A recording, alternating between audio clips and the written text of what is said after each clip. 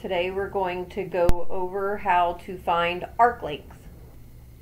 The essential question is how could knowing how to find arc length be useful? So first we need to go over exactly what arc length is and I'm going to show you an example of a circle. So here we have a circle and the way that you name a circle is whatever the center of that circle is. So this circle is called circle D is the name of that circle. And that is exactly how you would name it. It would be a circle with a dot in the middle and then the letter by it. So the name of that circle is circle D. And so what we're going to do is um, we're actually going to be finding the length of a portion of the circumference. So if we wanted to know how long this piece of the circle is instead of the entire piece. Um, and it is fairly simple as long as you know how to cross multiply and as long as you know how to find the circumference, so it'll be exceedingly easy for you. Um, so the first thing that you always have to know is it's always part over whole. Um, always, always with these. They're always part over whole for both arc length and 10-2, which is sector area. And um, for this part, we're going to look at how the angles of the circle for the part of the circle over the whole circle are related to the circumference of part of the circle over the whole circle. So you kind of look at it like this. It's going to be kind of like a table and all the problems will be set up this way. Um, so we're going to be looking for part of the angle. So what basically whatever this angle measure is, and we're going to call it, this is called theta. It's a circle with a little swoop in the middle of it. Um, and all that is is just a variable name for an angle. Just like we use x to mean numbers all the time, um, theta is kind of the go-to variable to um, define an angle if you don't know what it is. So it's just another type of variable instead of using x. So it's part of the whole circle of the angle of the circle that we're looking for. And we're only looking for this amount of it. So part over the whole entire circle. So the angle for the whole circle, which will always be 360. And then we're going to be looking for the portion of the circumference. So in this case, it's just this green area here. And we're going to name it X because that's what we name numbers over the circumference. And remember, circumference formula is 2 pi times the radius and the radius is always the distance from the center to the outside. It could be that one or it could be this one. It could be either one and that is the radius. Um, the only other thing you need to know is the difference between a minor arc and a major arc and it's just the way that they're named. So a minor arc example is our green arc and the way that you would name it is it's either AB, which typically is how we would name it because it's in alphabetical order, or it could also be BA, although typically we do alphabetical order. Um, the only other arc is your major arc, and that would be a arc that is bigger than 180, so something like this. And major arcs are always, major arc, are always named using three letters. Um, because if you just named it AB, you would probably go the short way around. So you always name it using three and then the letter on the ends, which are A and B, or it could also be B and A. The only difference is you would want a letter in between them. So C for both of them. It could be named either, and then there is an arc over top. That's how you name arcs. Um, so on your tests and things, you might decide what what arc you're looking at according to how it's named. So now we're going to do a couple of examples. Here's an example problem. We have a circle. Um, we're shown various um, measures. So this is 57. This is, of course, 90. Um, since this is 57, you could assume that this is 57 because those are vertical angles. They're two lines that cross each other, so they would be equal to each other. They'd both be 57. Um, to figure out this one, since this is a diameter, it would have to be 180. So you'd do 180 minus 90 minus this 57 would give you this one. And this one's also a diameter, so you would do 180 minus 57 to figure out this one. So there are lots of ways that you could figure out all the different angles in here. Um, but for our purposes, we're going to um, look at what we're trying to find. We're trying to find VZ. VZ is right here. And we need to know our angle measure of this one. And remember, since this is 57, so is this one. And then, of course, our radius is the other piece of information that we need, which is right here. So now we can set up our problem. We do angles first, so part angle over the whole angle. My part of my angle is 57 over my entire angle of a circle is 360 is equal to um, x, our part of the circumference we're looking for is x, and then over the whole circumference, which is 2 pi, and then times your radius, which in this case it is 3. And I'm color coding just so that you understand where everything came from. Um, our radius is 3, so that's why it's here. We're looking for this portion of the circumference, and we're using this portion of the degrees over all the degrees of a circle, which is 360. Now all you do is you cross multiply and solve. So 360 times x is 360x and you want to multiply this way. Um, but in high school, we usually leave our answers in terms of pi. So you're not going to multiply out pi. Um, you're just going to leave it as pi like it was a variable. So what that means is you're going to do 57 times 2 times 3. You're not going to do pi. And it's 342. And then you write your pi by it. So you leave it like this. Um, then we still need to solve for x, so you're going to divide both sides by 360.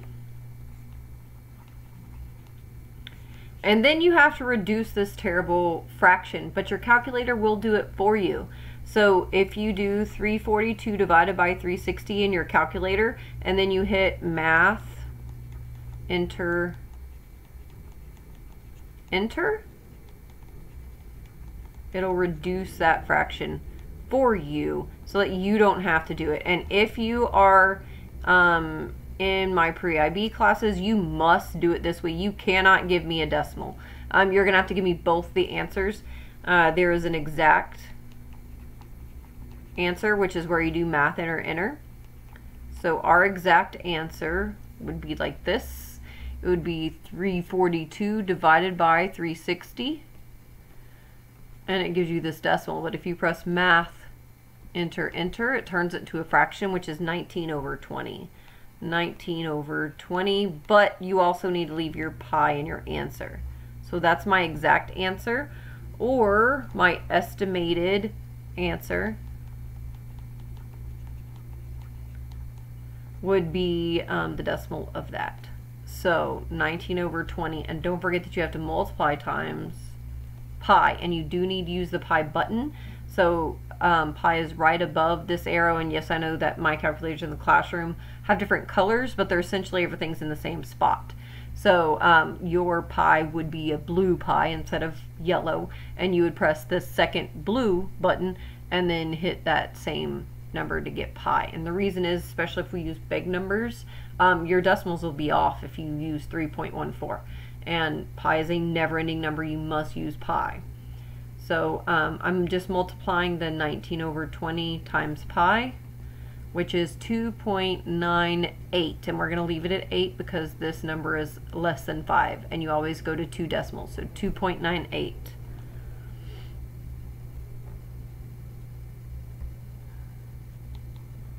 And don't forget your units. In this case, they are inches.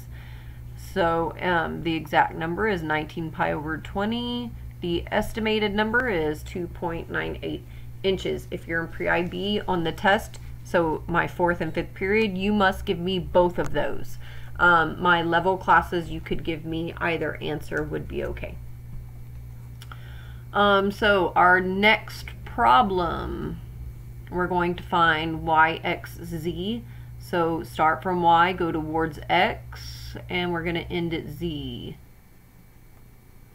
just so that you know, this arc could have also been called YWZ or YVZ as well, or the vice versa of all of those. You just have to pick a point in between your two endpoints um, for your name. In this case, X was just picked, um, but it did not have to be X. It could have been W or V as well.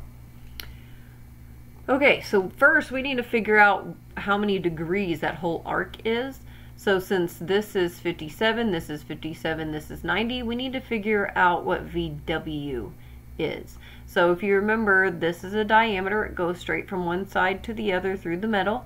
Um, so all of those added together would be 180. So to figure out this one, you would do 180 minus the 90 that's there and minus the 57 to give you whatever those degrees are. So 180 minus 90 minus 57 is 33 degrees. So to figure out how much the measure of y, x, z is, you add all those together. So 57 plus 33 plus 90 plus the other 57. So 57 plus 33 plus 90 plus 57 is 237 degrees. So now I can finally do my part of the circle we're looking at, the 237 degrees of it, over my entire circle, which is 360 degrees. We're looking um, for the part of the circumference, which would be x, over the entire circumference, which is 2 pi, and then don't forget my radius, which is still 3 because we're working off the same circle and then you cross multiply.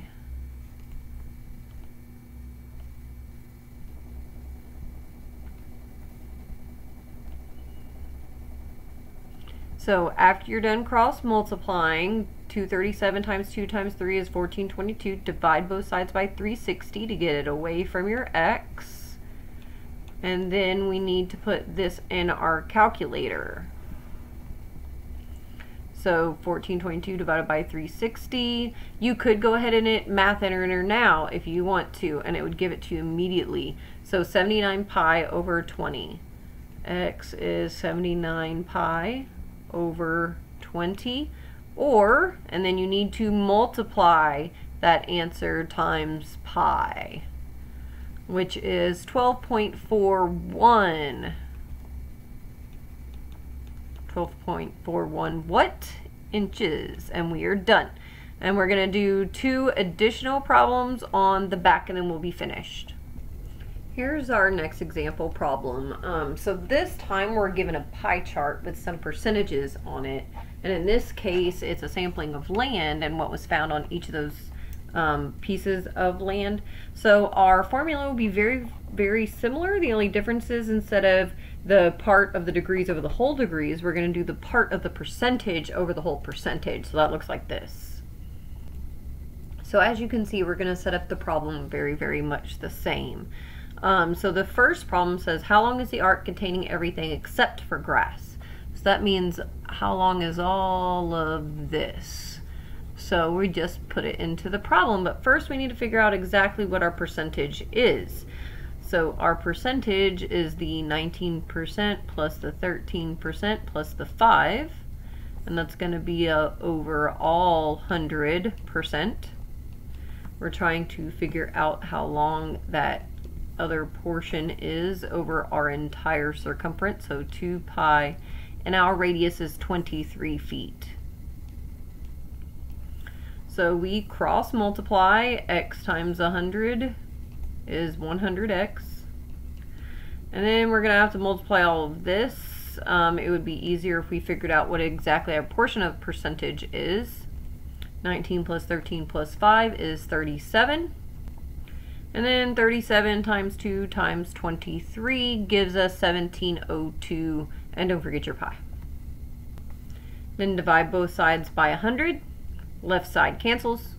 Reduce the right side with math enter enter which comes out to 851 over 50, so 851 pi over 50. Find the estimation of that, which is 53.47. And that is in feet. And that's our answer for our first one.